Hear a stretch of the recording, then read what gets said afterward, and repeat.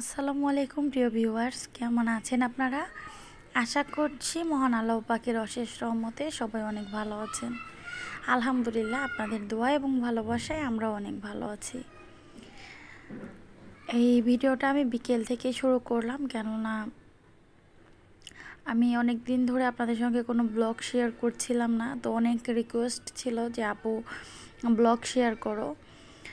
তো আপনাদের জন্য আমি আমার বিকেল থেকে রাত্রের রুটিনটা আজকে শেয়ার করব। আশা করছি আপনাদের এই পুরো ভিডিওটা অনেক ভালো লাগবে। যদি ভালো লাগে তাহলে অবশ্যই আমার চ্যানেলের পাশে থাকবেন। তো এখন হচ্ছে এখনও আসরের নামাজের আজান দেয়নি, তো আমি এই রুমটায় হাসিব থাকে আমার ভাগনা। তো রুমটা বিছানা টিছানা ঝেড়ে পরিষ্কার করে নিলাম, আর এদিকে নুরমণি ঘুমিয়ে পড়েছে, ওকে শুয়ে দিলাম। তো আমি রুমের খাটের যেখানে খাট ছিল, সেই খাটের অবস্থাটা পরিবর্তন করেছি। আমি লম্বা করে আবার বিছিয়েছি এখনও পুরোপুরি কাজ শেষ হয়নি। তো আগে তো লম্বা করে বিছানো ছিল, আপনারা এর আগে যারা ব্লগ দেখেছেন তারা দেখেছিলেন।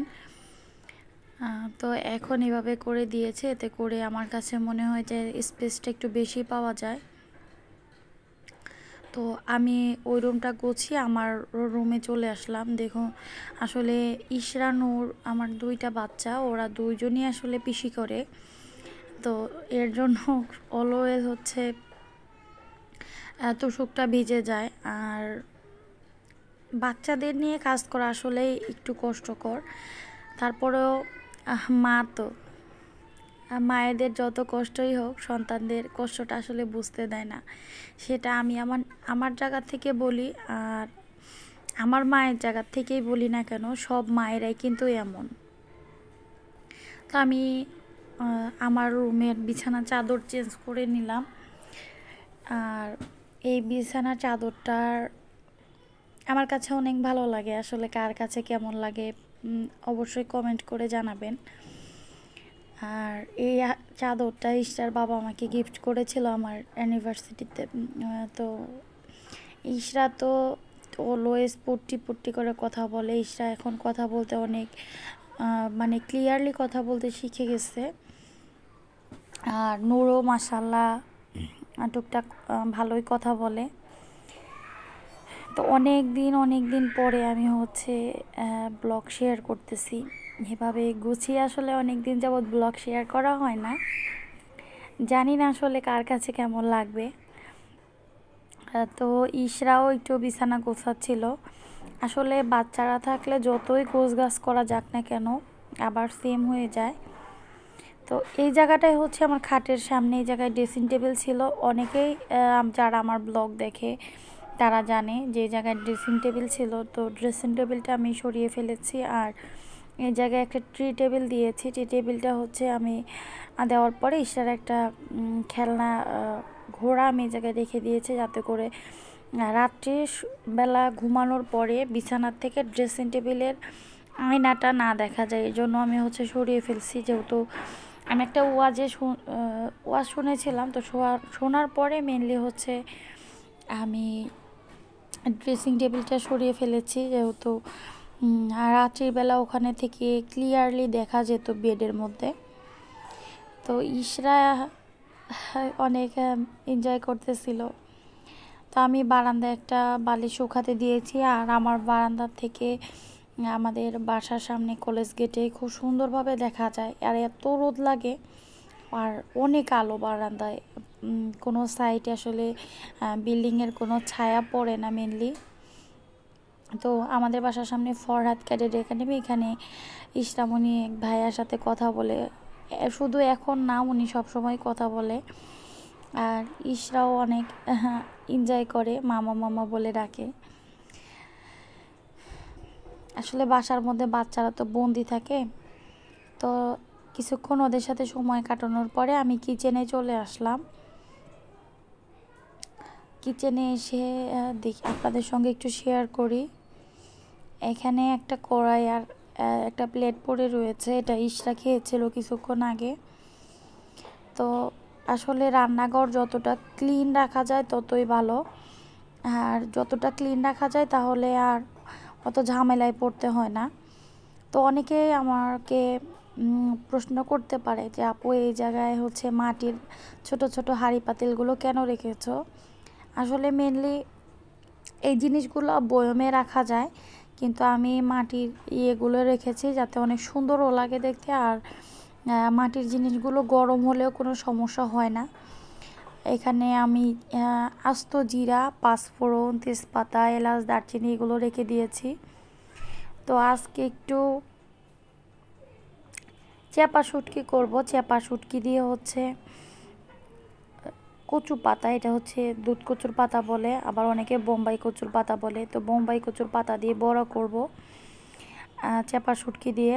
আর এটা হচ্ছে আমার কয়টা উন্না বাতিল হয়ে গিয়েছিল, একদম ছিঁড়ে যায়নি। তারপরে আমি হচ্ছে বাতিল করেছিলাম। তো এটা দিয়ে আমি পাপোশ করেছি হচ্ছে মেনলি পাপোশও বলা যায় না, পাপোশও অনেকে করতে পারে। আর আমি এটা হচ্ছে সবজি কাটাকাটির সময় নিচে দিয়ে হচ্ছে কাটার জন্য করেছি। অনেক সময় শাক টাক বাঁচতে গেলে কিংবা শাক ধুয়ে রাখলে পানি পড়ে। তো এর জন্য আমি এটা এভাবে করে নিয়েছি। তো যদি কারও বাসায় এরকম টুকরা কাপড় থাকে তাহলে এভাবে করে নিলে আমার কাছে মনে হয় যে পাপোশের কাজেও চালানো যায়। আবার অনেক কাজেই চলে মেনলি তো আমি এদিক থেকে হচ্ছে একটু চেপা শুটকি রান্না করে নিব।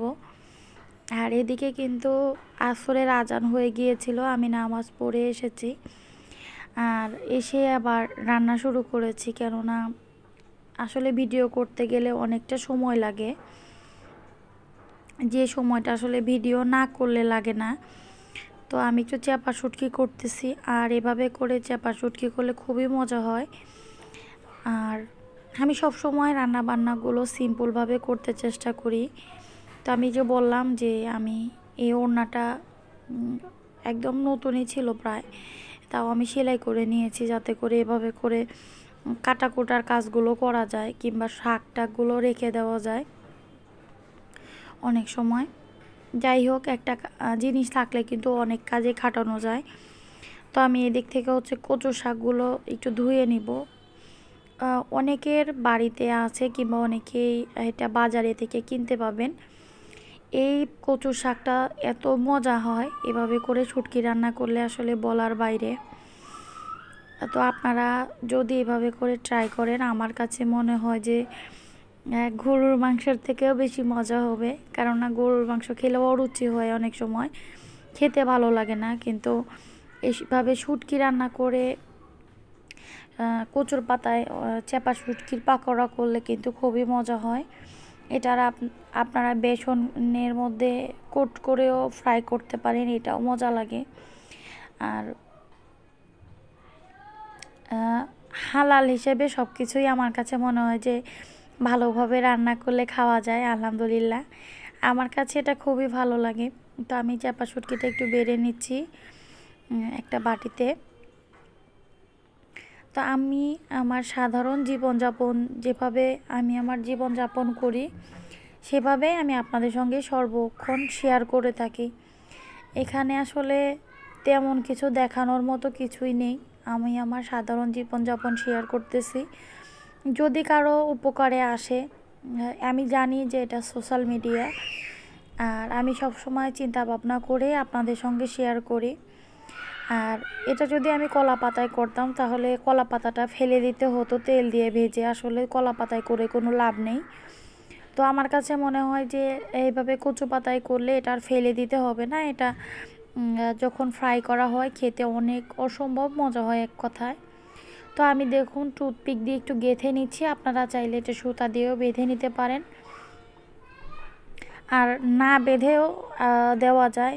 আসলে আমি একটু কলার পাতার পরিমাণটা একটু বেশি দিয়েছি বিধায়। টুথপিক দিয়ে হচ্ছে আটকিয়ে দিয়েছি। যেভাবেই দেন না কেন খেতে কিন্তু অনেক টেস্টি হবে। এটাই হচ্ছে বড় কথা।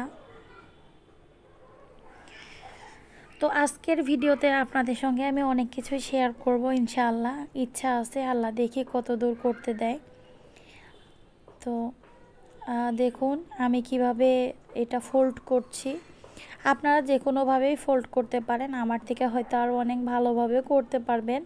তো আসলে আমি যখন কাজ করি সব সময় আমার ছেলে মেয়ে আমার আশপাশ দিয়ে ঘোরাফেরা করে। আর ওদের সময় দেওয়ার পরে আসলে আমি যতটুকু আপনাদের সঙ্গে শেয়ার করতে পারি, ততটুকুই আসলে মেনলি চেষ্টা করি শেয়ার করার জন্য। আর এটা হচ্ছে গত শুক্রবারের ভিডিও আমি যেহেতু হচ্ছে শনিবারে একটু আমার ভাগনা ভাগ, আমার ভাগনা নীরবের জন্মদিন ছিল, ওর সাথে দেখা করেছিলাম। তো আমার ভাগনার জন্য আপনারা সবাই দোয়া করবেন। আল্লাহ যেন আমার ভাগনা ভাগ্নের নেখায় দান করে, আল্লাহ যেন ওদের জানমাল, ইজ্জতের হেফাজত করে। একমাত্র আল্লাহই তো হেফাজতকারী। আপনাদের কাছ জন্য আমার সর্বদা দোয়া থাকে। দোয়া করি আমি। আল্লাহ যেন আপনাদেরও সই সালামতে রাখে। আপনারা আমার সম্মানিত ভিউয়ার্স আপনারা আমার বিপদে আপদে পাশে থেকেছেন। আল্লাহ আপনাদেরকে সর্বদা সুখী রাখুক। তো এদিকে আমার হচ্ছে ইলিশ মাছ আর কচুর, দুধ কচুর ডাকুর দিয়ে আমি ইলিশ মাছ রান্না করেছিলাম। তো একটু ইলিশ মাছ ছিল। তো এটা একটু গরম করে নিলাম। এদিকে হচ্ছে চেপা সুটকি দিয়ে দুধ কচু পাতায় হচ্ছে পাখি শুটকি মাছের পকোড়ার মতো করলাম। এটা মজা লাগে। আর এদিকে হচ্ছে প্রেশারে ভাত রান্না করে নিলাম। এই আমার কাছে মনে হয় যে ছোট্ট প্রেশার কুকারে ভাত রান্না করলে আমার আমার কাছে ভালো মনে হয়। কেননা খুবই তাড়াতাড়ি পাঁচ, ছয় মিনিট কিংবা সাত মিনিটে হয়ে যায় ভাতটা। আর সময়ও কম লাগে, তাড়াতাড়ি হয়। মেনলি সব কিছু মিলিয়ে আমার কাছে প্রেশার কুকারে রান্নাটা সব থেকে সহজ মনে হয়। তো এদিকে বড়াটা হয়ে গিয়েছে। আমি একটু শুকনা মরিচ ভেজে নিয়েছি সাথে। যদি কারও ভালো না লাগে, তাহলে অ্যাভয়েড করতে পারেন। আর যখনই কাজ করা যায়, তখন যে থাল বাটিগুলো হয় রান্নার সময়, সেগুলো ধুয়ে নিলে আর বাড়তি কোনো কাজ থাকে না মেনলি তো এই তো আমার খাবারগুলো রেডি হয়ে গিয়েছে। আমি যে খাবারটা দুপুরে সকালে রান্না করেছিলাম, ওই খাবারটা ছিল। সবজি ছিল, তারপরে ইলিশ মাছ আর হচ্ছে কচুর ডাগুর দিয়ে রান্না করেছিলাম। আর এদিকে চাপা শুটকির পাকোড়া করেছি চাপা শুটকি। আর এই হচ্ছে আমাদের রাত্রিবেলার খাবার। আর